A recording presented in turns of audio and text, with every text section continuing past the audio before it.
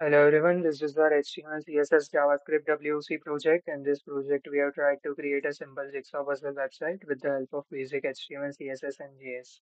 As you guys can see, this is the homepage of our website in which we have inserted multiple puzzles. On clicking on any one of them will lead you to the puzzle solving page, as like this.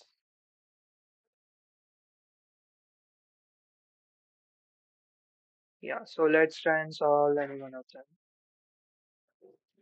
So this is the puzzle solving page in which we have kept a turn counter which increases by one every time you take the turn, like this. And also a timer which shows the total time elapsed since you started this puzzle.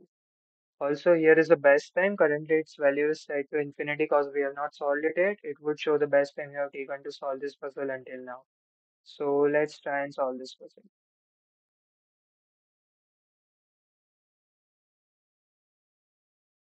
So as you guys can see, we have solved it incorrectly this time and it is showing us an alert of retry. So let's try it again.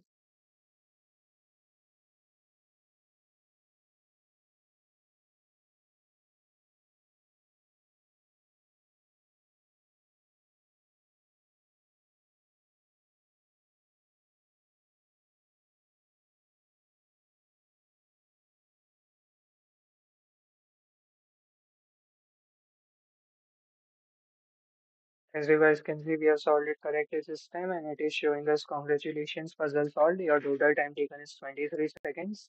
And this is currently the best time we have taken. So let's try it again and solve it, solve it in a faster time. Also the best, as you guys can see in the top right corner, the best time value has updated itself. We will try to solve it in a faster time.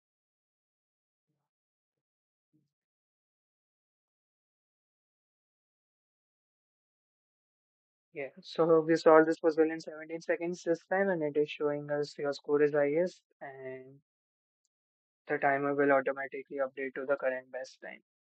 So this is our Jigsaw a simple Jigsaw puzzle website. I hope you guys can learn from it and wish you guys all the best.